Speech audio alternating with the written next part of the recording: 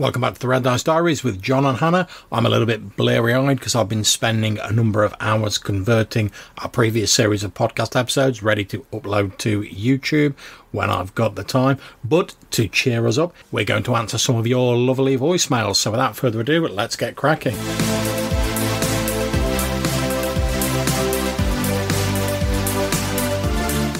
And our first voicemail is from Jason of the Nerds RPG Variety Cast. Take it away, Jason. Hey, Hannah and John, Jason here. So interesting discussion on plot, multiple plot point campaigns. It, this definitely goes back to the earliest days in the hobby. A lot of the old modules had faction play where you play factions against each other, or like the Village of Hommlet. There's a ton of things you can do in there. So this definitely predates the article. The best game I've played in that made use of factions and multiple plot points was a Black Hat game that John was actually there at the original session, and Ian or um, Edwin or Spencer may weigh in.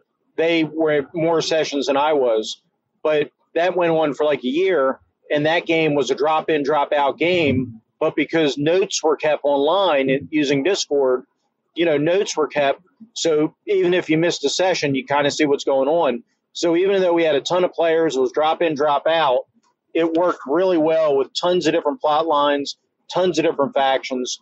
You know, the GM added uh, advanced levels basically to the Black Hat, where once you max out in character level, you move up to faction and then move up to leadership in different factions.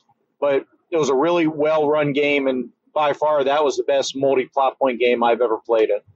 So, looking forward to your next episode. Take care. Cheers for that, Jason. Um, yeah, thinking back on multiple thread games. Yeah. That I've played in that have really worked. Um, generally, I can't think of many. A while ago, though, a friend ran a pre written Deadlands scenario for us that was all set on like a train. Yes, yeah. yeah. And there were sort of various different passengers on the train. It stopped at various different places, and yeah, lot it, going there on. Two or three different threads running through, and you could take sides in different ways, and it'd have different outcomes.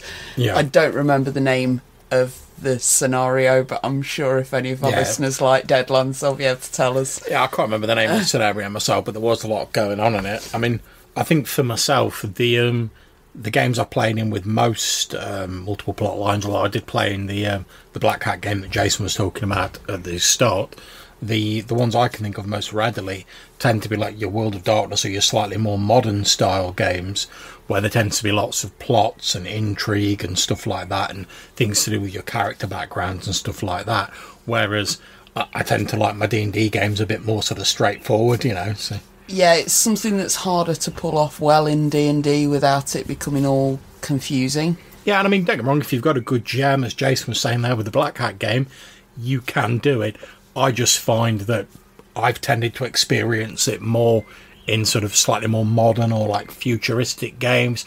I mean, we've we've spoke a lot about um, Scum and Villainy, where although you tend to do missions in that sort of like Powered by the Apocalypse game, each game centers around like a mission or a heist that your sort of starship crew is doing.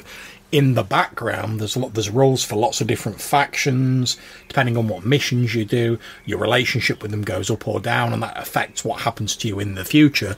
So, although that doesn't present in the same way, I think that's probably a really good example of sort of faction play and uh, multiple plot lines. And I know a lot of the sort of Forged in the Dark variants, like Band of Blades and stuff, tend to do that. Although a lot of the sort of multiple plot lines and how they work are sort of placed on the GM, and these things tend to happen in the background, and you only see a sort of a bit of it of the players. But I don't say that's a bad thing, it's just a different way of presenting it. And it seems Jason's got a little bit more to say. So, what else is on your mind, Jason? I really wish most of the people I play with didn't listen to your podcast because I'd love to put some of these hanging tree ideas into practice. But now I need to wait a year or two for people to kind of forget about your podcast because you guys came up some really great ones. So congratulations on that. So uh, we've been talking on Discord recently. I'm curious, you guys do a mix of sci-fi games and fantasy games. Hannah's got her Star Wars. John has done, you know, um, scum and villainy and stars without numbers. But a question's been talked about in Discord.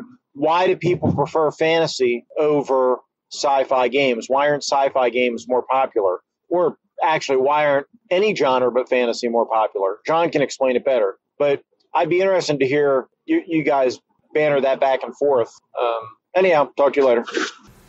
Star Wars? Star Wars, you heathen. I like Star Trek. And that might actually be the big sort of thing to underline because for me, Star Wars is fantasy. It's just fantasy that happens to be happening in space. You've got your magic and your sword fights and all that kind of stuff. Whereas Star Trek is about thinking things out and complex puzzles and big complicated ethical dilemmas. It's all right, Jason. I quite like Star Wars. Don't tell Anna though. I like Star Wars too. It's dumb shit. Pew pew lasers. I, I- I do see what you, I Grand. do see what you mean. I mean, but it's not the same thing. And fantasy is that thing of like something comfortable to go and relax in, whereas sci-fi makes you do work. Yeah, I mean, I, I I said this a bit online in the Discord conversation that uh, Jason's talking about, but I genuinely think that obviously part of the reason fantasy is more popular is because D and D was like the big name sort of RPG from back in the day, and that was mainly fantasy.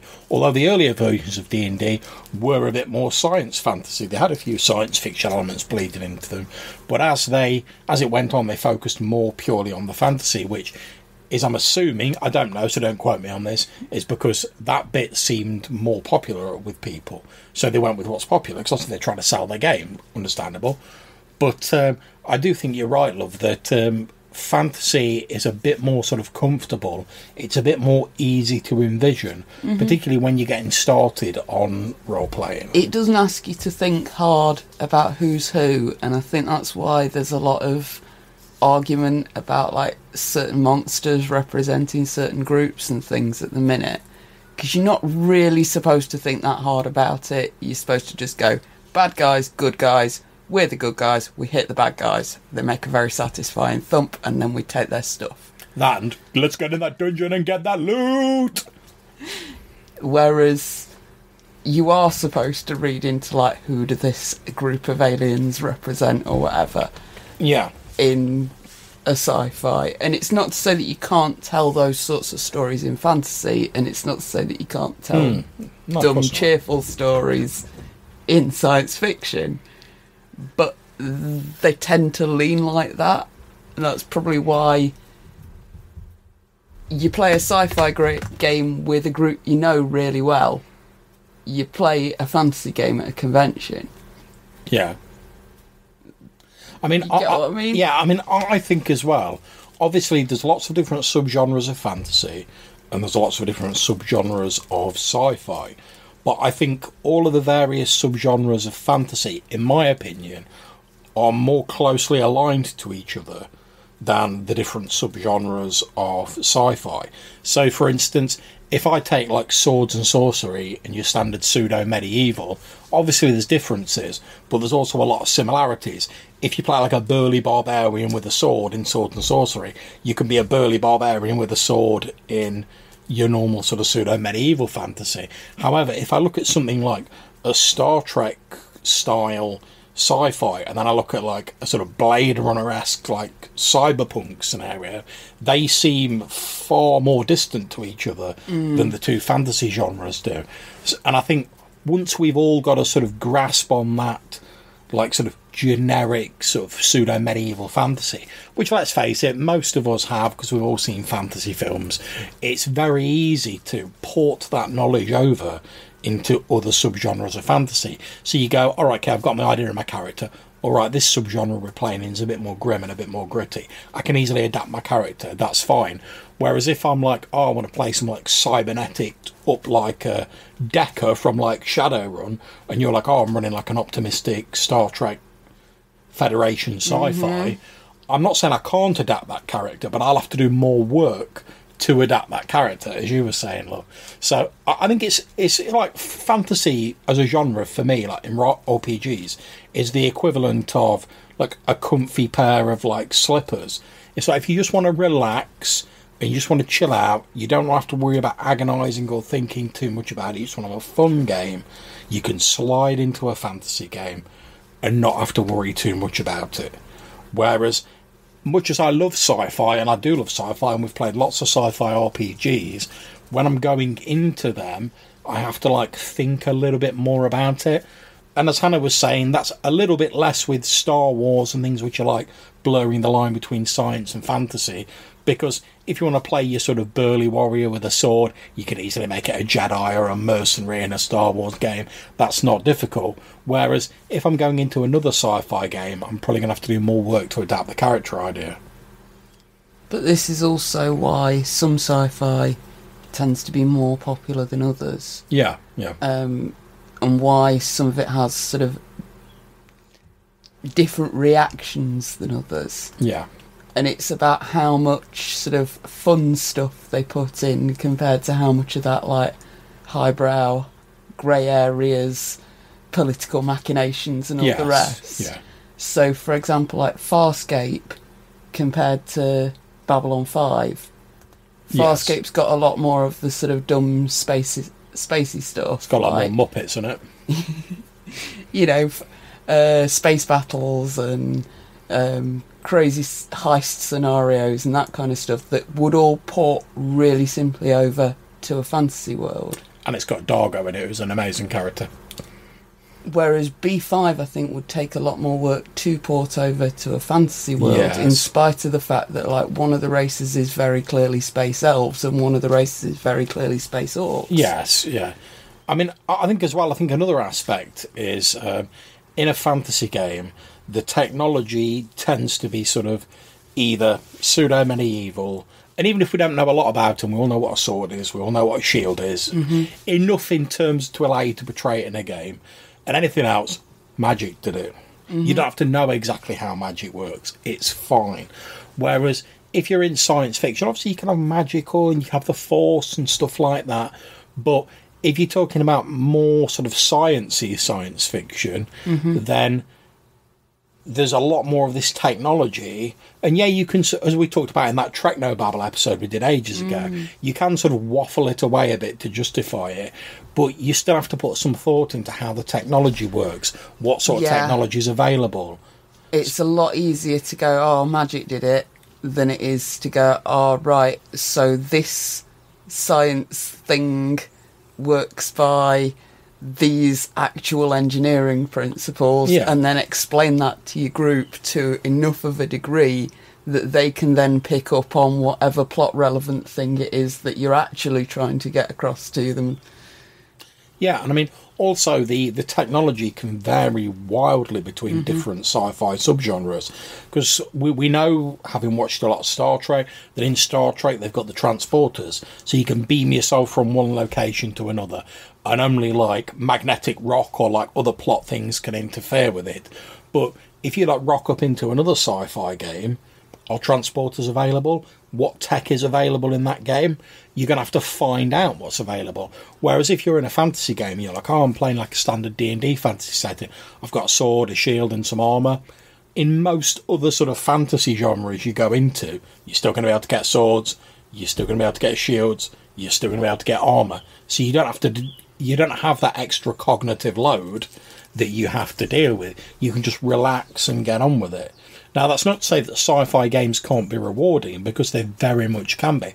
And I love a good sci-fi game. As Jason was saying, we, we I've talked about Stars Without Number and Scum and Villainy a lot on the podcast. Really, really enjoyed them. But I think you do have to like put a bit of extra work in to get that reward out than you do in a fantasy game. And I think part of it is it just depends on what you're in the mood for. If you're just looking for a quick game you can just sort of relax into and play with your friends, then I find that easier to do with a fantasy game. Now, I don't mind putting the extra effort in if I'm playing a different type of game, but you know, sometimes you just want to relax and just enjoy yourself and not have to worry about it. So I think that as well as why, uh, as D and D having a sort of market prominence, is probably the main reason that fantasy is a more popular genre. Thanks very much for your call, Jason. Greatly appreciated. And next up, we have a call in from Randy at the Biggus Geekus podcast. So take it away, Randy. I did a quick internet search. I could not find the Hangman's Tree um, anywhere in third edition. I think you're right. It wasn't Pathfinder though. Um, that's interesting. Good monster. I really think it has a great vibe, and I think it's even used as a creature in Deadlands. I mean, because they you know hang in the hanging tree, and I thought that's really kind of cool. Uh, love the idea of the Wicker Man usage for it, and also the whole making cider and all the connectivity to the village and a strange village that brings brings adventurers in and say, "Welcome." Yeah, you don't know we're going to be a sacrifice. Uh, keep up the good work. Really enjoyed uh, enjoy your monster stuff, um, and you guys take care. Bye. Hi there, Randy. Thanks very much for the call in. I'm glad that I wasn't just missing it in third air. But it's interesting you mentioned Deadlands. I've just got my copy of Deadlands Reloaded for Savage Worlds here, and I've pulled that out. Now, whilst I couldn't find anything about the hanging tree as such, there is the hanging judge as a monster mm. in Deadlands, and these are five Confederate circuit judges who formed a secret alliance to steal land, ruin their rivals, and all manner of unfortunate and evil things. They were exposed and they were hauled to the nearest tree for a lynching. However, the Reckoners, the evil spirits that are sort of plaguing the Deadlands, seize the opportunity to infuse their spirits with evil, unholy energy and return them back to Earth as walking abominations. They now stalk the West, terrorizing people, and basically each night when they rise from the spirit realm, they decide on a series of random actions which they deem to be criminal for that night. And if they come across anyone performing those actions, they sentence them. And the sentence is always death. And they're pretty nasty creatures, you know. They can dodge, they can block, they get additional action cards, they ignore wound penalties, and they're pretty much immune to all damage unless you can find a way to like hang them. Which, yeah, good luck with that, given that they're like massive, amazing marksmen. They've got sides on their pistols. Their pistols are magic. They get all manner of like extra bonuses. However, if you do manage to destroy them, the coup you get, or the sort of the bonus you get from defeating them, is you get one of the judges like twin loading army revolvers that's like enchanted. So that's pretty cool. But like I say, good luck finding them and getting hold of that. So thank you very much for your call, Randy. Much appreciated. And next up, we have a few messages from Joe over at the Hindsightless podcast. So we're going to play them and we'll chip in with our comments along the way. So over to Joe. Hey there, you two. Uh, yeah, so I heard you mention to Jason about him having problems with SpeakPipe, and I also have problems using Speak SpeakPipe on my phone. Uh, which is why I still use Anchor. Sorry about that. I'm kind of a Luddite. But yeah, man, I just cannot get uh, SpeakPipe to work properly on my phone. It just shreds any sort of recording I try and make yeah, so keep making awesome episodes. Your monster episodes are amazing. I think they're so much fun. And the word for seeing patterns for humans putting patterns together is pareidolia, which is a fun word to say. Anyway, have a good day. Take it easy. Peace out. Pareidolia. That's the one that's specifically seeing faces. Simulacra is when you're seeing stuff that's not a face, so like say the shape of a dog, and simulacra morti is when you see a skull. That's my favourite one. yeah, and um, sorry about the the problems that you and other people have been having with SpeakPipe. I think it's mainly because it's not really configured to work with mobiles. It's more a website designed to be used with browsers. But as you say, there are a couple of other ways that we can be contacted. We've still got the old Anchor account, so if you type into Google Anchor Red Dice Diaries, then you'll get the old podcast, which will come up, which I mostly use to host the audio sort of files for the episodes of my OSE actual play campaign at the moment, but you can still submit messages via that as Joe has done, and we will still get them and put them in our voicemail episodes. Or if you want to send us a slightly longer message, because I think Anchor only allows you like uh, a minute or something like that, then you can save your message as an MP3 file or some sort of audio file, and you can attach it to an email and send it to us at rddrpgpodcast at gmail.com, and we'll still get that. Yeah, we don't mind how you send us your messages. We're just glad people are listening. That's it. C- Call us whatever you want as long as you Yep. call us. so let's see what else Joe's got to say. Hey, Jonna. Jonna? Okay. Apparently that's your celebrity couple name now. Holy shit. Hey, John and Hannah, it's Joe. And yeah, about the frog, uh, uh, the froghemoth, you were pretty much spot on when you were talking about the Pathfinder stuff. Having a plus 22 in stealth for a monster that big is nuts at that level. That's super, super high. Uh, for a regular, like, CR 13, like 13th level creature, a plus 22 uh, for, like, something the size of a human, not out of the line. But for something that huge, yeah, that is, that's crazy. Because they're taking being that big, they're probably getting a minus eight at least to their stealth. And so, you know, they're actually sitting on like a plus 30, but because of the penalty, they're only at a plus 22. So great stuff. Keep it up. Talk to you soon. Peace out. Yeah, that's pretty much what I thought, Joe. To be honest, although as I say, it's been ages since I've played 3.5, and I've I've only really played like one Pathfinder game, which didn't last very long, so I'm not sure of the sort of power scales of it. But I thought that 22 stealth seemed a little bit OTT for such a big creature. And as for the Jonna thing, we've been called worse. Yeah, I've, I've been called far worse in my time, man. So go on. Although, interestingly enough, as a bit of an aside, one thing I have noticed is because on like um, my Facebook and whatever, I'm down as like John Allen Lodge, and I've noticed like a lot of people, particularly Americans, either refer to me as John Allen or just straight Allen when they first meet me, which I always thought was slightly odd, but maybe it's a thing over there. I don't know. Let me know, American peeps out there listening. But either way, as we said in the, the previous response, l- long as you're not being insulting, I'm not bothered if you get my name wrong. It's absolutely fine. I had a cousin who didn't spell my name right for like the first 15 years of my life, so I'm pretty sure I can handle it. And you know, I don't mind having a celebrity couple name for myself and Hannah while we're doing the podcast. It's all fine by me. Uh, late on this one, but I wanted to call in before I forgot uh, about the hangman tree. So yeah, it is in Pathfinder. They call it a gallows tree because it might have been one of those like proprietary names that Pathfinder couldn't take when they started Path that Paizo couldn't take when they started Pathfinder. So they call it a gallows tree, and it's a pretty high level monster, CR thirteen, so pretty high upper tier level play. It's got a bucket of hit points, 218. It's got an armor class of 24, which, you know, you think it'd be pretty easy to hit a big tree, but maybe not. It's got a bunch of, uh, slam attacks. So basically, like its branches, it can punch you with its branches and then grab you and then hang you. It's one of my favorite monsters that I've never really used, but it was crazy when you talked about it because I love them. So anyway, thanks for that. Peace out. Yeah, cheers for that one.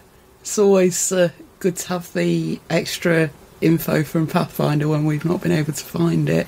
We always like hearing about other ones. Yeah, and I mean, obviously we've we've got a sort of fairly substantial collection of books, but it's not limitless. So especially when we're doing these slightly more sort of left field monsters, there's inevitably going to be times where we've not got the books to cover mm-hmm. every single eventuality.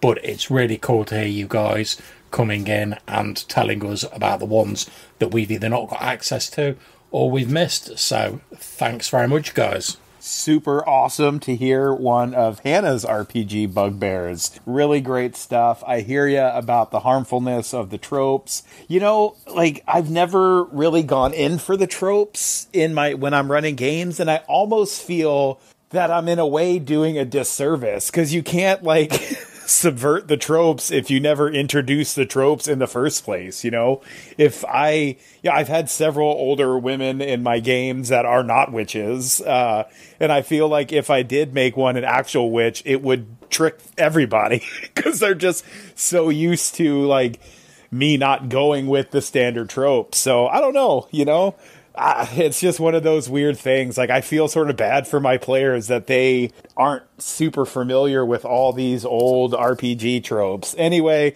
great stuff. Always awesome. Peace out. Thanks very much, Joe. And yeah, I've got to say, as we mentioned in the episode, part of Hannah's loathing of that particular trope is, I think, partly because I've been so conditioned by sort of like encountering it in so many games that like whenever we play in a game together, which unfortunately doesn't happen as often as we'd like due to our work schedules, whenever we're in a fantasy setting and someone describes like an old bent over crone with like a hook nose, like hobbling towards you, my brain instantly goes, burp, burp, burp. It's a witch. Abort, abort, abort and like that's it i think that's been sort of like conditioned into me like you know like some sort of mental programming over the years and i've tried to get away from it but and not be quite so overt with it but uh, it, it is a difficult thing once it's lodged in your brain it's a difficult thing to shake and I do want to point out again that I don't have any problem with anyone using these sorts of things in their game in any capacity.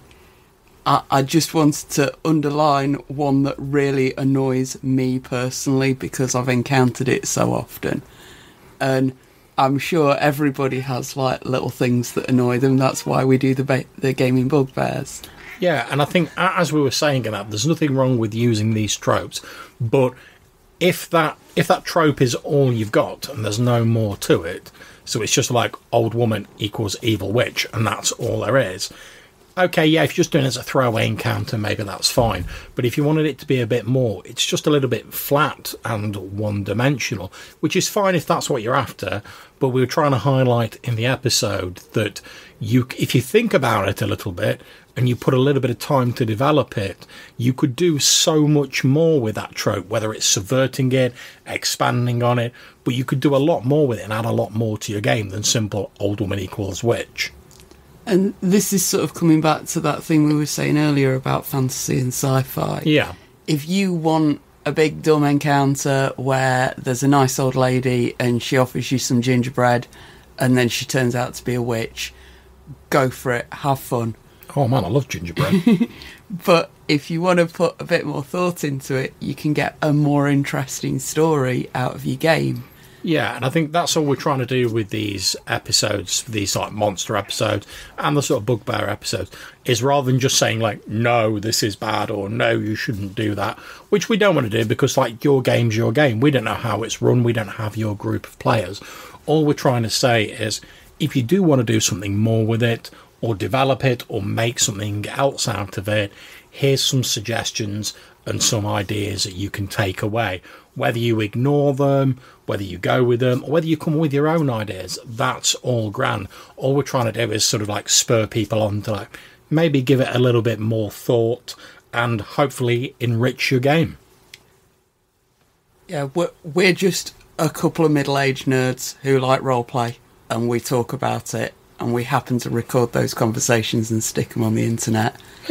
We're mi- not telling anybody how to run their games. Are you middle aged? How old's middle aged now? I know I'm definitely middle aged, but I think you've got I'm a few close years. enough to you. I think you've got a few years left, haven't you? I'm definitely middle aged. I mean, I've got the flat cap and the slippers to prove it. So I just remembered one more cool thing about the gallows tree from Pathfinder is if it kills a medium or large creature, uh, anything smaller it'll just leave. But if it kills a medium or large creature, it'll rip out all of its organs and dissolve them into the root system and fill them with like this greenish, sappy, polleny kind of grossness.